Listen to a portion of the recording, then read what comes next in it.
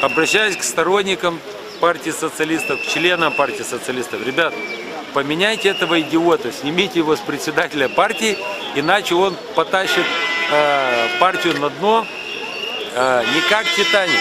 Титаник еще какое-то время держался на плаву, но Дадон как топор потащит всех на дно, потому что я знаю много русскоязычных людей, много граждан страны, которые являются членами партии социалистов. Знаю даже некоторых депутатов, которые нормальные, вменяемые люди.